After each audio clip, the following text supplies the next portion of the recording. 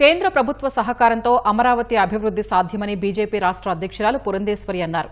అమరావతికి railway line కేటాయించడంపై విజయవాడలోని BJP రాష్ట్ర కార్యాలయం వద్ద బీజేపీ నేతలు సంబరాలు చేసుకున్నారు. రైల్వే లైను వేస్తే రాష్ట్ర అభివృద్దితో పాటు ఆర్థికాభివృద్ది కూడా జరుగుతుందని పురంధేశ్వరి తెలిపారు.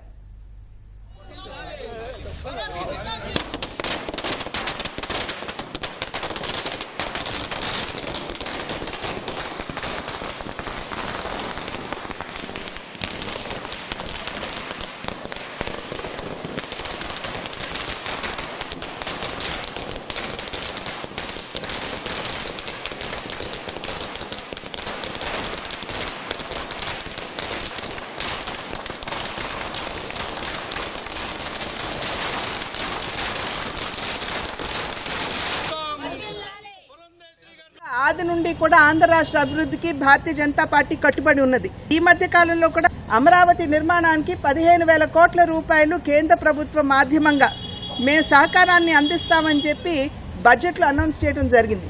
పోలవరం ఏదైతే మన ఆంధ్ర రాష్ట్రకి జీవనాడి అని చెప్పి మనం అందరం కూడా భావిస్తామో గత ఐదు సంవత్సరాల కాలంలో దాని మీద సీతకన్ను వేసినటువంటి సందర్భంలో పనులు కొనసాగలేదు. అదేవిధంగా డైఫ్రమ్ వాల్ కూడా దెబ్బతింది. కనుక దీనిలో దీనిని కూడా దృష్టిలో పెట్టుకుని కేంద్ర ప్రభుత్వం పన్నెండు వేల ఐదు వందల కోట్ల రూపాయలు రాష్ట్రానికి అందివ్వడానికి సన్నద్ధమైంది. ఇది మాత్రమే కాకుండా రైల్వే జోన్ విషయం కూడా నిన్న అశ్విని వైష్ణవ్ గారు వర్చువల్ కాన్ఫరెన్స్లో కూడా చెప్పారు. వారు చెప్పినటువంటి విషయం ఇంతకు ముందున్నటువంటి ప్రభుత్వం ఏదైతే భూమి కేటాయించిందో అది రైల్వే జోన్ నిర్మాణానికి అనువుగా లేనటువంటి సందర్భంలో మార్చి భూమిని ఇవ్వండి అని అడిగినా కూడా వారు దాన్ని పెడచెవిని పెట్టినటువంటి సందర్భంలో మేము ఏమాత్రం కూడా ముందుకు వెళ్ళలేకపోయాము. కానీ ఇప్పుడు చంద్రబాబు నాయుడు గారు ముఖ్యమంత్రి అయిన తర్వాత వారు ముందుకు వచ్చి భూమి ఇవ్వటానికి వారు సిద్ధమయ్యారు. కనుక ఒక నాలుగైదు నెలల్లో ఆ నిర్మాణం కూడా ప్రారంభిస్తాము. దానికి సంబంధించినటువంటి కొన్ని టెక్నికల్ ఇష్యూస్ ఉన్నాయి. వాటన్నిటినీ కూడా పరిష్కరించుకుంటూ మేము ముందుకు వెళుతూ రైల్వే జోన్ నిర్మాణం త్వరలో మేము ప్రారంభిస్తామని చెప్పి వారు చెప్పడం జరిగింది. కనుక దీన్ని బట్టి ప్రజలందరూ కూడా అర్థం చేసుకోవాల్సినటువంటి విషయం. వికసిత్ భారత్ రెండు వేల నలభై ఏడవ సంవత్సరానికి సాధించాలి అని నరేంద్ర మోడీ గారు చెప్పారు.